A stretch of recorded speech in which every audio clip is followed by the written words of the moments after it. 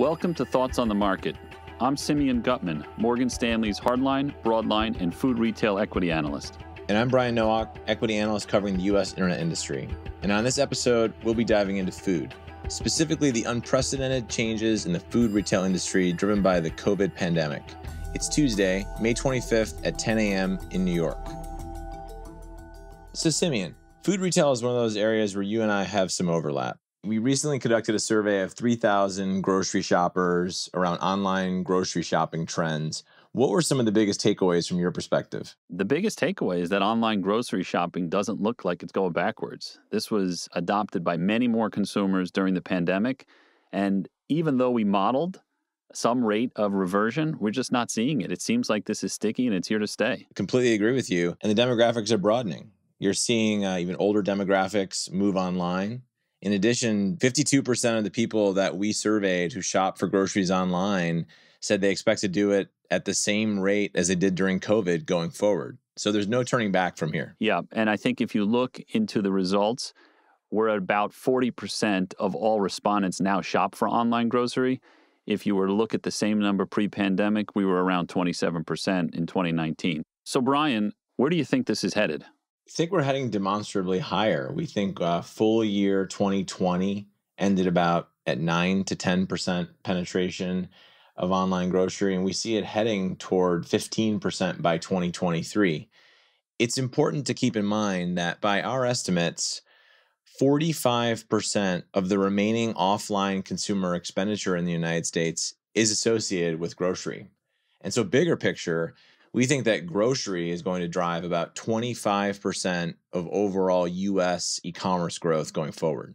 Yeah, food retail has been the biggest underpenetrated category in all of retail.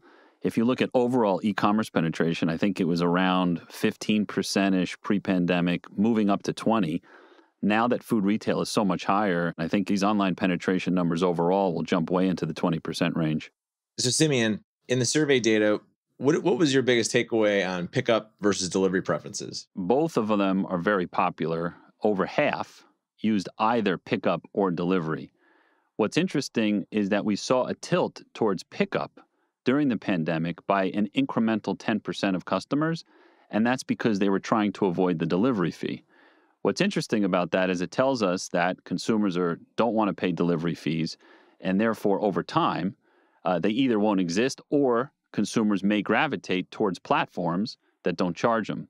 And that reinforces this notion that those online players or traditional brick and mortar players that don't charge delivery fees will likely take market share over time. Table stakes are high.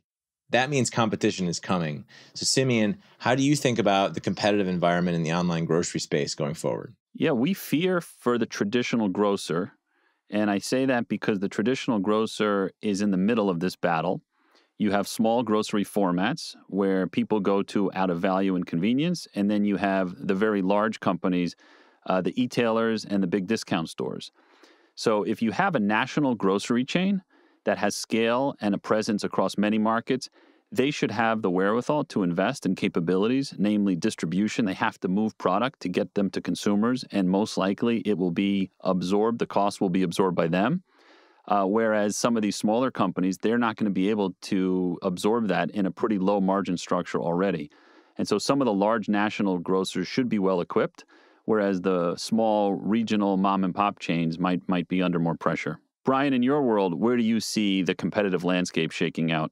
I agree with you. The large are going to get larger, and we think Amazon in particular is going to get larger into grocery going forward. But it's not just Amazon. We expect more of the shared economy players to continue to partner with traditional retailers and grocery stores to deliver groceries to consumers on a same day basis.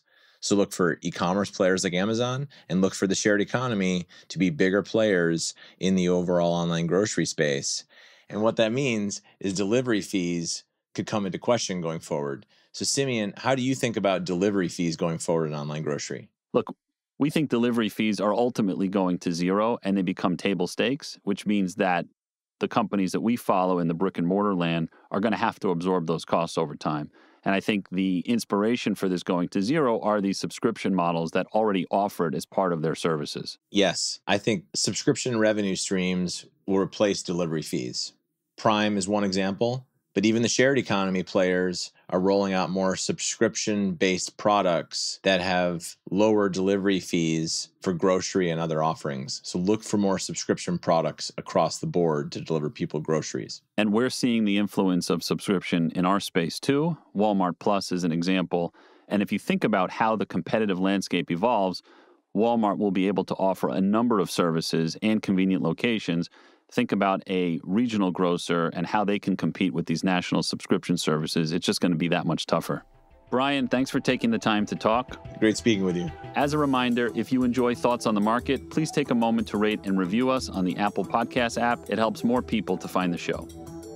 The preceding content is informational only and based on information available when created. It is not an offer or a solicitation, nor is it tax or legal advice. It does not consider your financial circumstances and objectives and may not be suitable for you.